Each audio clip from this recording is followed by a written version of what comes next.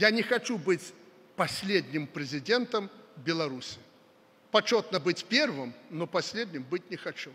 Я хочу, чтобы дети наши жили на этом клочке земли в мире, в согласии, в обнимку с русским человеком, с россиянами. Они нам не чужие. Россияне – это наши люди. От них, правда, мало чего зависит сейчас. Нас требуют так, вот мировая цена, сегодня 60, там 62 доллара за баррель нефти. Нет, нам говорят, еще вы должны нам премию дать тем, кто нам продает нефть. И на тоне это 15-16 долларов на тоне. А умножьте на 24 миллиона тонн, какие это деньги? Это э, приличные деньги. Я абсолютно договороспособен. Но что это за союз, если мы начинали в товарообороте с ними, мы были в плюсе, то есть мы продавали у них товаров больше, чем покупали. А сегодня минус 9 миллиардов долларов. И каждый год нам ухудшают, ухудшают, ухудшают положение. Они просто просчитались. Они думали, что я, еще раз утрируя скажу, дадут мне ключи от склада, и я побегу в Россию, тоже буду богатым, пушистым, белым, красивым.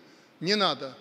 Мы с Балтики будем закупать нефть. Вот через Латвию мы сегодня уже железнодорожным транспортом поставляем нефть. Второй маршрут мы прорабатываем с Гданьска по Польше, но надо будет забрать нефтепровод «Дружбы» и реверсом в обратную сторону поставить Беларусь нефть. Я Путину прямо сказал, на первом этапе, если мы с поляками договоримся, реверсом поставлять по одной из трех, «Дружба» три трубы, она через нас вот тут идет, будем поставлять на наши заводы. Третье направление, оно опробовано через Украину. Ну и четвертое – это Россия, мы не отказываемся от этой нефти, но таким образом произойдет диверсификация поставок. Мы договариваемся с американцами, э, Саудовской Аравией, Арабскими Эмиратами, блестящие у меня с ними отношения, сколько надо, столько нефти поставим. Конечно, это мировая цена, но качество там нефти лучше.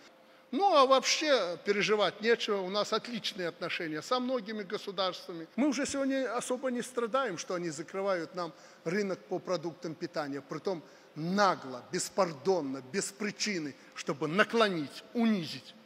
Мы этим не отвечаем, но ведь мы можем и ответить. Когда-то было, когда они начали нас торпедировать, мы начали их автомобили проверять под Смоленском, и очередь выстроилась по железной дороге и по транспорту автомобильному до Кремля.